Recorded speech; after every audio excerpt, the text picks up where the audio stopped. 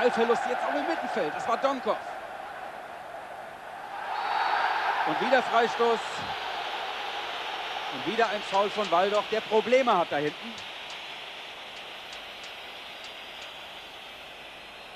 Zweimal war ihm Arvelazzi jetzt abgehauen. Und er muss aufpassen, jetzt hier nicht die gelbe Karte zu riskieren.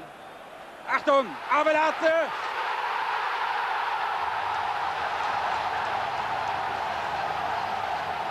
Ein Bauerntrick, auf den der VfL Bochum hier reingefallen ist. Der Ball war freigegeben. Hier, eine ganze Mauer schläft.